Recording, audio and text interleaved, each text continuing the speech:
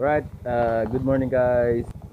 Time check, 8.30. So ngayon ay babalik akong Dumaguete.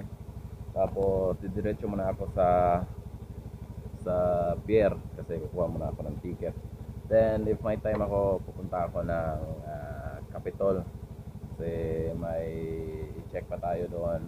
But if hindi na kaya, uh, didiretso na tayo sa ano terminal kasi kailangan ko talagang bumalik sa Dumaguete tapos may documents na pinadala. Tapos babalik na naman tayo dito. Yeah. What's up mga kwe uh, see you uh, today's vlog. Kasi mukhang uulan na. Then uh, see you when I get there in the port na. Okay bye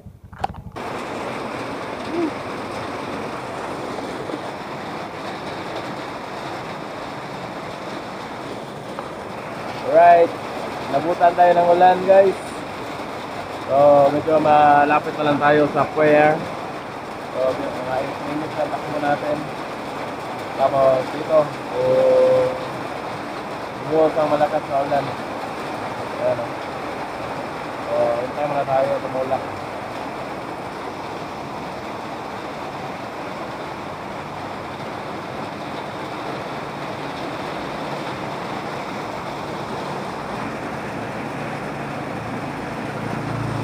Ang lakas ng ulan. So, baka hindi na ako aabot sa Kapitolyo. Diretso na lang tayo sa airport. Alright, alright. So, wala nang ulan. Okay. Driving again. Ano? Ayari, ayari, guys.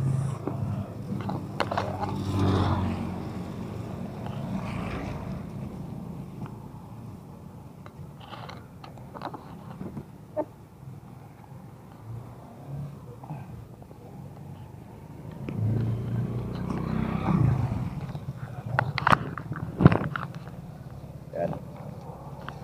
Right.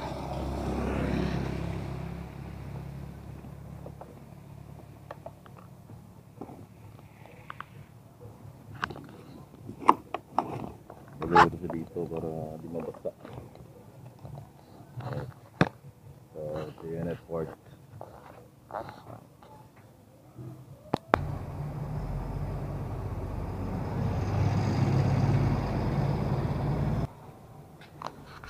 So, andito na tayo sa port ng Sikihor. Tapos, ah hihintay lang tayo kasi dumating na yung barko na sasakyan natin. Yung Montenegro shipping. Shoutout sa Montenegro. Ah, magandang ano. Yan. Ito na naman pala yung sasakyan ko. Bakit ang sayo nila? Maaga yun.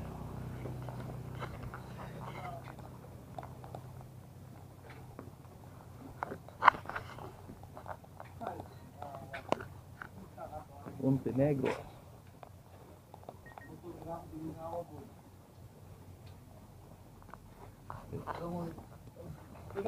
Ah, Nara.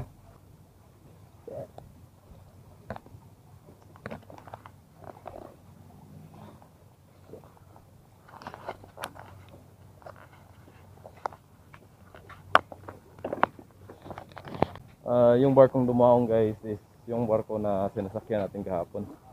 So, akala ko ibang barko ang sasakyan natin ngayon. Tingnan mo. Ah, same barko pa din. So, same, ah, same yung makikita niyo sa vlog na to ngayon. Yan o. Nakakalaking barko niyan. And Reina Olympia. Biggest barge of Montenegro. Ah, Problem ski boat.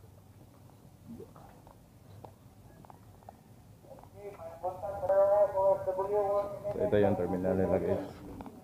Bayad tayo ng 14 pesos.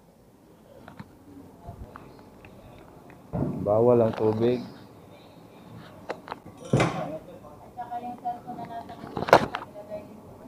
Sige lang, gana ako? Sunod lang.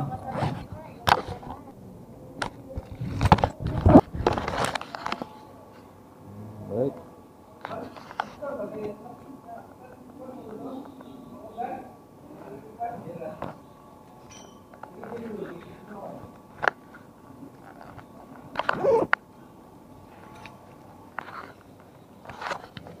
So yan guys, ah kailangan i-check yung mga gamit natin sa terminal. Ayan, monitoring. Alright, dito tayo na sige ho. Right, so boarding.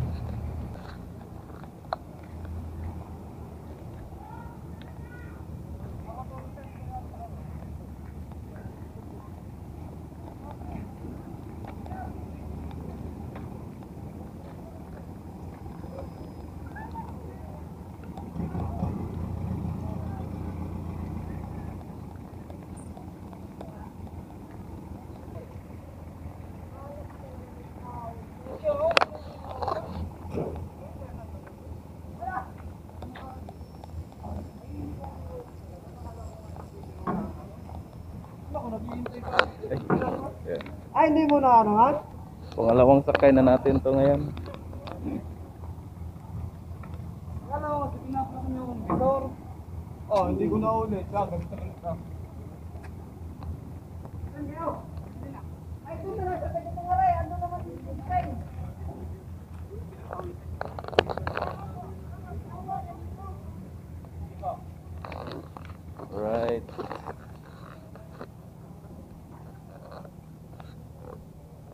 Ride here at uh, Reina Olympia.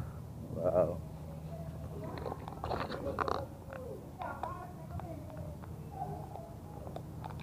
Hindi ka malaking barko.